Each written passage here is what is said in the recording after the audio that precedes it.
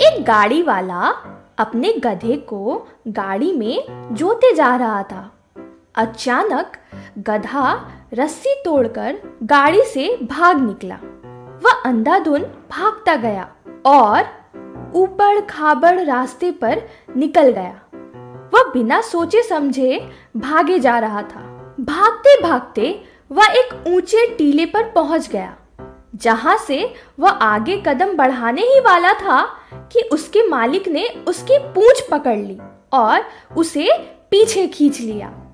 गधे ने छुड़ाने का बहुत प्रयास किया, लेकिन मालिक भी पूरी ताकत से उसे पीछे खींच रहा था। मालिक गधे को गिरने से बचाना चाहता था, लेकिन गधे को यह बात समझ में नहीं आ रही थी।